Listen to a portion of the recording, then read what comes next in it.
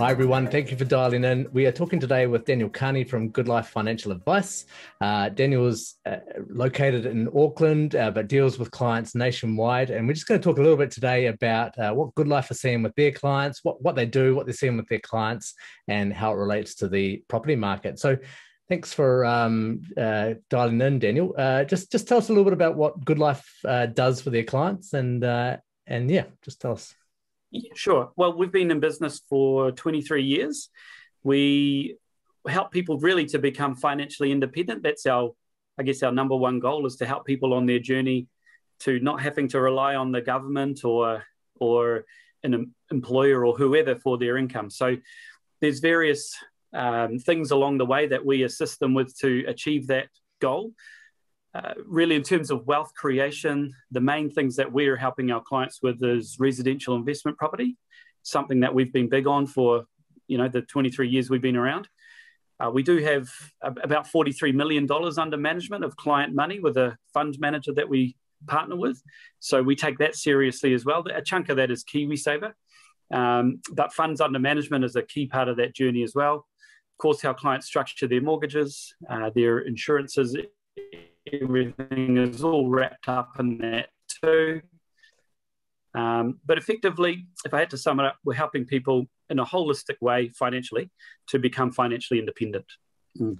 Cool. Okay. So, yeah, let's talk about the um, property side of things. Um, because there's been a few changes in the, the market recently, and government likes to pick on investors. So uh, it uh, seems like uh, that's been affected the most. But I guess the big one is probably, well, in my view, the big one is the tax changes that happen. I mean, there's been the LVR that was, you know, there was that prior to 2013. Um, oh, uh, from 2013 rather, and uh, and it's now been re-implemented. But I think the big one was the tax changes and the treatment of interest tax deductibility. Um, uh, what are your thoughts on that um, in terms of how it will affect the market, and and will people look to new builds or um, you know ditch existing properties? What's your thoughts? Yeah, you know, I, I mean, most of what we do, ninety nine percent of what we're doing with clients is new build uh, property anyway. So it's very rare. It's only in, in the cases of where we have to. Um, it's not a bad thing, but where we have to, it's usually clients with a lower borrowing capacity that we're looking at existing property stock. Um, so you know when we've when we've run the numbers, uh, admittedly it's on interest rates uh, sort of similar to what we're seeing now. It, it hasn't actually been that big a change for our clients who have got existing property. So I think the media um, can really you know sensationalize things and, and concern people or worry people more than is necessary when clients talk to their accountants and look at the actual numbers, probably the changes to their financial or cash flows are are probably quite minimal when they do the uh, calcs. So anyone that's concerned, I would encourage to before they draw any negative conclusions, actually just do the calculations. Hey, if it is too too much of a change, well, it might be a time to look at selling, and maybe reinvesting into new builds. But new builds for us has always been a preference anyway for many reasons. They're more tax efficient, uh, easier to rent, easier to sell, less maintenance issues. Uh, chattels are worth more, etc., etc. So um, it's a it's really just, I guess, um, helped our client base out, and that what we're doing in terms of the fact that we're we're pro new builds anyway. Um, but I don't. We haven't really seen much of a negative impact, and uh, myself included, in terms of what my wife and I have, in, in terms of existing property, we haven't seen much of a negative true impact with the with the recent changes. Um, but nonetheless, we are pro new builds anyway, and that's mostly what we're doing anyway. So they're exempt uh, to to those changes. So it's really business as usual. And if anything, if anything, we're getting busier. Um, yeah, no, I, look, I'm I'm the same, right? From a mortgage broking perspective, new builds are easy to finance. They're uh, they're they're good. You don't have those issues where suddenly you buy an existing house and you need to fork out ten thousand dollars for a new roof. Um, so they come with a lot less risk for the for the client, I think. So yeah, it's it's good. And now those um, well, we don't know what those tax deductions are as of today. We can we can hazard a guess from what they've put to the IRD. Uh, mm. um, but yeah, it's there's certainly going to be some benefit uh, to new builds going forward. So um, yeah. Yeah. And I mean, look, for us, it, it, it's quite easy for us to sum it up. And this is why new builds work well in this in this model, is because you know, we see it much the same as KiwiSaver. And what I mean by that is, you know, KiwiSaver just ticks away in the background. You're not phoning your KiwiSaver provider every five seconds and asking them to tell you what's going on and call you every time there's changes within the funds and blah, blah, blah. It's just something that's ticking away in the background that's there to help fund your retirement. It's a wealth creation strategy. For us, property is the same. We would like as much as possible to have it in that set and forget space. So mm with new builds, that's a lot more likely because there's a lot uh, less likelihood of issues with a new build than there is an existing property. As, yeah. as you mentioned, things having to be repaired or changed out or whatever. So, you know, at the front end, we have the right people helping to find and analyze it, and then out the back end, the right people to look after it. And and I stress to clients that's not to take the power away from them; they can get as involved as they want. But it's more our clients are busy; they've got lives to lead it's the, and we put it in the same category as KiwiSaver. It's just a thing to grow in value over a long period of time, 10 years plus, hopefully, and you just get on with your life. So yeah. it's another reason why we like new builds. Yeah. And and rental property managers as well. They take all that oh, yeah. that hassle off you. I, I remember switching from doing the um, management of investment properties myself to giving it to a rental property manager. And, and after about two years, I said to my wife, oh, do you think we should check on the property because we hadn't yeah. heard anything? It was just running smoothly. It's, oh, to me, to it's it. Absolute no brainer. And we we budget for all of that stuff. So the reports we mm. give to clients, we budget for every fathomable cost you could think of. Because again, we don't want them thinking about, oh, I've got to pay for this and that, and where's that money coming from? Blah blah blah. Um, no, we property manager, lawyer, accountant, rates, insurances, maintenance.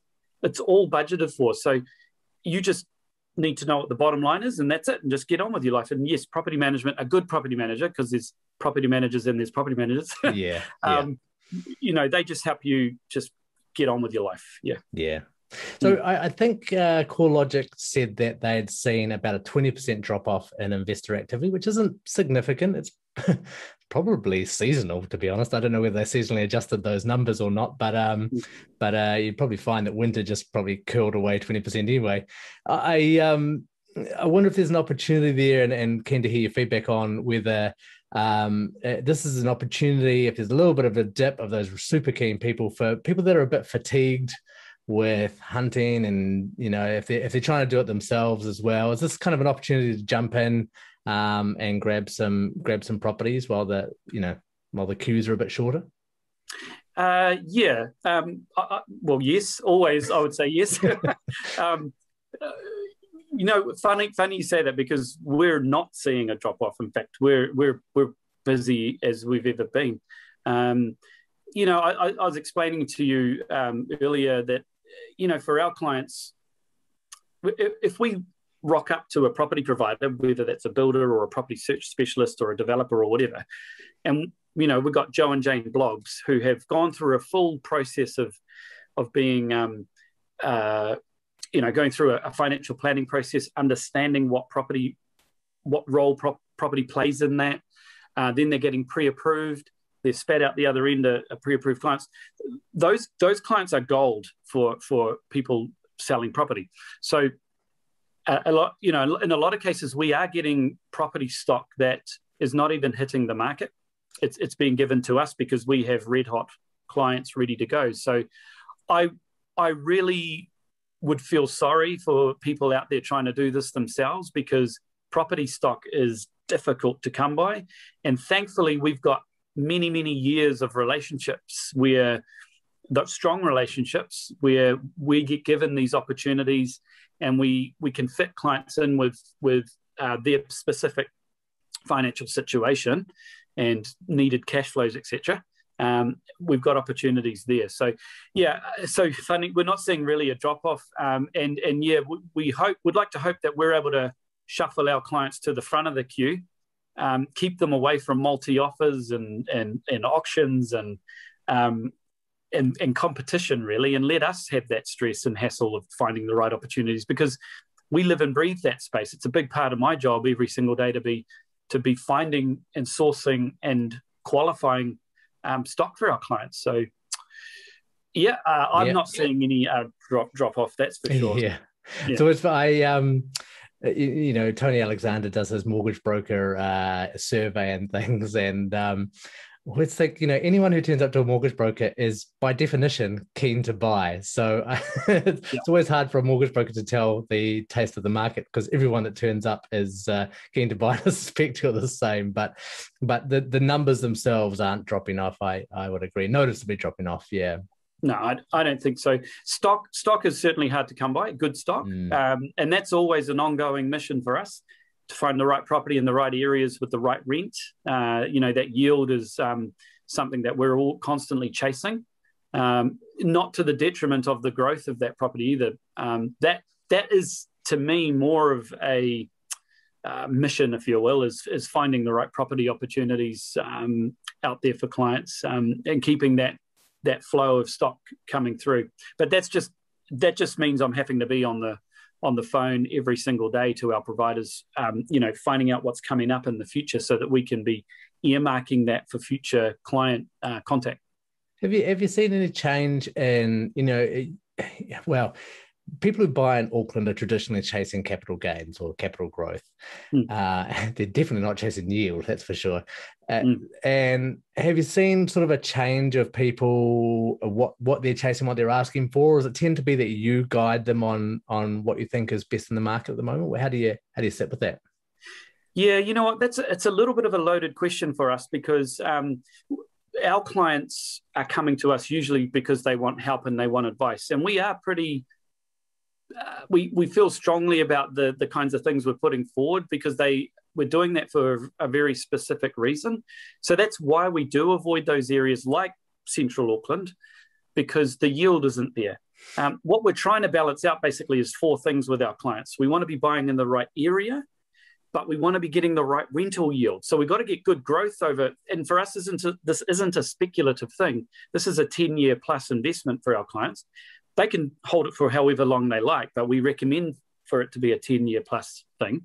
So we, we're, you know, we, we, know we're looking at areas that are earmarked for some nice gain over the next uh, 10 years with, that are going to give us a good rental yield that is done in a good tax effective manner. So that's really a twofold thing. That's new build property and who is your accountant, and that's a whole other conversation.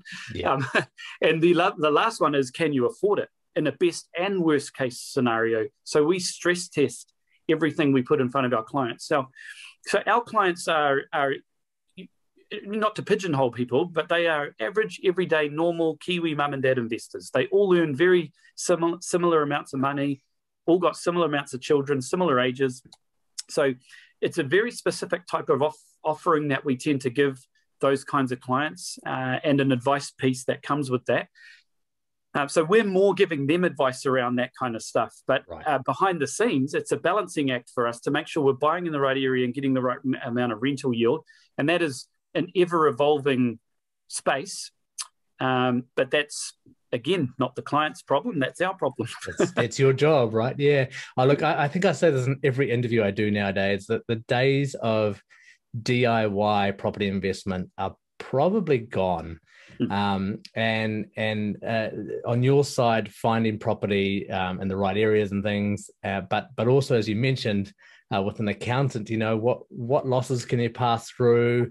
How is the interest rate um, you know how's the interest tax deductibility treated? What's the bright line test? I mean it's just not something you can do. Uh, easily by yourself um, anymore. So re- really interesting um, new world of property investment, which I think is a good thing, right? If you're plonking over seven hundred thousand dollars, you should probably get some advisors around you, right? Totally. Yeah. Totally. People have fumbled along and got got some capital gains along the along the way, but it is it is a minefield uh, out there. You know, even just the the property management side of things, you, you you don't do one little thing correct, and lo and behold, you can't claim on your insurances because something's happened and you didn't meet certain criteria. That's just one of many many things that you need to be making sure you're getting right. So yeah, I I, I would, as I said before, I would hate to be going out there and going this alone. Um, there are, uh, you know, good advisors out there who can help in that space, and you really do want to have that good network around you. And I'm really big on that. Um, you know, a good property manager, a good lawyer, a good financial advisor, or property specialist uh, financial advisor, um, mortgage broker, ins- risk insurance type person. Um, you know, accountant. If I didn't say that already, these are people who you need to surround yourself by you would be amazed the things we see on a weekly, if not daily basis. Even just yesterday, I got an email from a client from one of the big brand, international brand um, accountant firms, giving advice to a client which was which was blatantly wrong, uh, and and I, I, was gobsmacked to be honest. Um, so people have to be very careful. And this isn't to have a bitch and a moan about other professions. We just want to make sure people are marrying themselves up with a good network who are experts in that space. Uh, they're not, oh, they've just heard there's a bright line to change and blah, blah, blah. No, yeah, I'll just nah. put that in an email. um, no, no, they need to know what they're talking about. And and really, though, that, that network is there to grow and protect your wealth. And they should be all working together, not mm. butting heads with each other uh, for the betterment of that particular client. Mm, yeah, absolutely. Mm. Hey, um, fi- final thing, be difficult to do an interview without talking about interest rates. Uh, we were seeing 2.19, then one Brave Bank uh, decided to increase their profit this quarter, uh, bravely increase their profit. I actually don't know if that's true. They might have had a, a source of funds increase, but um, so 2.55 and all the other banks followed. Uh, what what's your sort of? I mean, for starters, if anyone has been pulled out of the market because of a 0.36% increase, I'm very concerned for the fragility of their portfolio. There mm-hmm. shouldn't be exiting the market because of that. But it is an indication, right? So what, what do you think interest rates are are going to do in the next sort of year or so if you uh, if you had to graze into your crystal ball? Yeah, for sure. Um, so it's interesting because there's two sides to this. Um, there's the you've got your ANZs and your ASBs who are giving these sub two percent build rates, yes. which you can get 90% lending on. Uh, well, obviously, that puts a bit of a premium on top, but you, you can still get good low rates out there, especially if you're doing builds. Uh, and and, and as, as I say, ANZ and ASB have put their hands up in that space. But yep, you're right. Um, you know, interest rates are creeping up. I, uh, I look. I don't have a crystal ball, uh, but I did. I did funnily enough, I did put this to Tony Alexander in an email uh, about a month ago because in my mind, my my thought was, look, surely any rise, incremental rise in the OCR when that happens, and that hasn't happened yet, um, but the the, the banks have just started putting their their rates up, I guess, in expectation. Surely it's only going to take small incremental rises in the OCR to really pull back the the economy. Um, that was something that he agreed with. Now, I don't know whether he'd like me to be quoting him in, in this particular video, so I'll be careful. But but it makes sense to me that it, it, it wouldn't take too much of a rise of interest rates to really slow down uh, the the uh, well slow down people's spending uh, habits, which is really what the OCR is, is trying to do. Is trying to control the infl- uh, control inflation. We are seeing inflation, so interest rates are going to go up but I, I don't think they're going to go up um, either a quickly, like big jumps. I don't think so. Uh, I think they'll be incremental. Again, could be wrong, um, and I don't think they're going to go up. So, so when we when we're doing stress testing with our property investment analysis reports that we do, we're using a five percent rate in our worst case modelling at the moment. Um, I feel comfortable with that. Uh, I, I would be surprised if rates go up much more than that. Now, I hope I'm not proven wrong there, but I, it, it, there is the reason I say this is because there is so much debt out there now. So many people in New Zealand who have got a mortgage have got big amounts of mortgage debt because of the cost of buying property has gone up, up, up, up, up. So there's a lot of debt. So surely it's only going to take very small incremental rises to have the whole of New Zealand mortgage population population collectively gasp and not go and buy that TV or spa pool or whatever it was that they were going to buy uh, and, and stop themselves because oh um, rates have gone up because they've got a, a, lot of debt. So for those few reasons, I I, I just think it's going to be uh, slowly put up to see what impact it happens to the economy, and I can't see it going up much more than five percent. That's yeah. my um, yeah. non-economists' view of the my my notoriously smoky crystal ball, my notoriously inaccurate crystal ball. Uh, yeah, it, um, I'm, I feel the same. Yeah, it's um, five percent a lot, right? Like that's double what it is now. So I think there'd be some people who would be responding uh, to quite a bit to five percent. Mm. Um, and and for clarity, I think we're talking over a three or four year period. I'd be very surprised to see a one year rate at five percent in the next year. Um, I mean, you've got the 0.75% COVID kind of relief drop that on the OCR that they did um, just post the lockdown. Mm. Um, you could see that disappearing disappearing reasonably quickly. Yes. But um, beyond that, it would have to be an external cause, I think, like um, inflation or or some sort of international event uh, that was causing our OCR to go up not mm. property. And they've got so many other levers on property with LVR and mm. and uh, DTIs, um, which mm. they hopefully don't introduce. Um, mm. but yeah, I think that they can control the market other ways. But yeah, all right, no, that's great. And to reiterate, that was uh, all um, pie in the sky guessing, and not uh, do not make your financial decisions based on this conversation. yeah, yeah, you're right. But just just just quickly, um, it's it's interesting though, just in you know anecdotally uh, when we when we're running numbers on property, when we're doing our best and worst case modelling, the the properties we're seeing at the moment are putting probably about uh, fifty to 150 into a client's pocket every week, cash flow positive, net. That's net after all expenses are taken care of. When we blow out those interest rates, it's probably going to cost a client somewhere between about 200 to 250 a week when we're around about that 5% interest rate mark. So those are the differences. We're seeing cash flow positive uh, with what we're doing around about that sort of, as I say, 50 to 150 ish mark through to costing a client 150 to 250 per week top up. So if a client feels, well, yeah, I could do that, that's affordable. Um, well, then that's that's about what we're thinking is a realistic worst case modeling for the types of things that we're predominantly getting our clients into at the moment. Yeah, that's great. Mm. Excellent. Hey, well, thanks for um, dialing in. If uh, if people want to catch up with you or have a look at your website, what's the website name, man? Um, it's goodlifeadvice.co.nz, goodlifeadvice with a C.co.nz. Uh, they can in, uh, email us info at goodlifeadvice.co.nz, or we even have 0508 Goodlife. How cool is that?